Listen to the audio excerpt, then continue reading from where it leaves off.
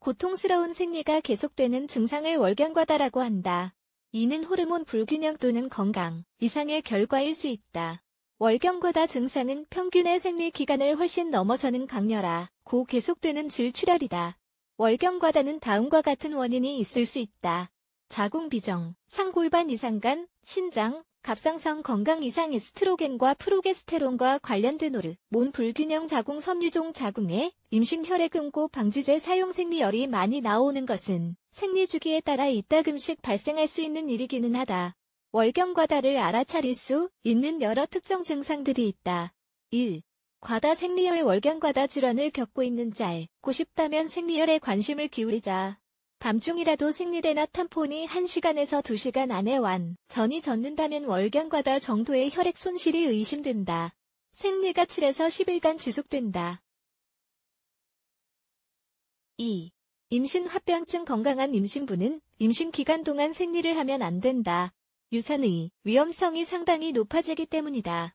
임신을 했지만 생리가 계속된다면 산부인과 의사와 상담 후에 증상을 면밀히 검사받고 태아의 건강을 체크하는 게 중요하다. 3.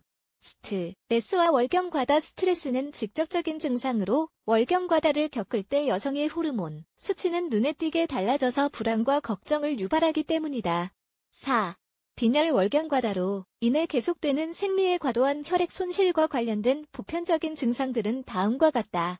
빈, 혈 손바닥이나 발바닥 등에서 보이는 창백한 피부 피로, 숨가쁨 어지러움 전반적인 몸이 불편함 호 섬유종 자궁 내벽에 발생하는 섬유종은 비정상적이지만 암은 아닌 종양이 다 크기가 아주 커질 수도 있어 진단받자마자 바로 치료를 하는 것이 좋다. 섬유종, 은 대개 월경 과다와 관련이 있으며 길고 고통스러운 생리를 유발한다. 5. 자궁염, 증 계속되는 생리와 과도한 출혈은 다음의 부위의 염증을 유발할 수 있다.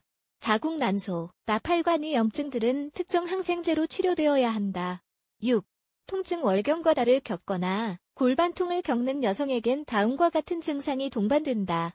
열루한질 분비 생리통 하지, 마 월경과 다의 이 증상들은 소염제로 충분히 치료 가능하다. 7. 여드름 월경과다가 호르몬 불균형의 결과일 수 있기 때문에 월경과다를 겪는 여성들은 다음과 같은 관련 증상을 함께 겪을 가능성이 높다. 다낭성 난소 증후군 다모증 여드름팔 나이와 월경과다 나이는 월경과다의 중요한 요인이 된다. 월경과다는 다음과 같은 경우에 흔하다고 볼 수 있다. 생리를 방금 시작한 사춘기의 여성 30에서 50세 사이의 중년 여성, 폐경 이후의 여성 월경과 다가 이 시기에 여성에게 발생하는 빈도가 높지만 어느 나 이해라도 몸의 변화가 느껴진다면 의사와의 상담을 받도록 하자. 9. 성관계 도중의 통증과 출혈 성관계 도중 또는 후에 발생하는 통증이나 출혈은 월경 과다를 겪는 여성에게는 아주 흔하다. 또한 다음과 같은 증상을 유발할 수 있다. 외음부 통증 복통, 하복부에 느껴지는 압박질 분비 10. 일상생활 불가 월경과 다를 겪는 여성은 다음과 같은 일상생활을 하는 데에 있어서 큰 지장을 받는다.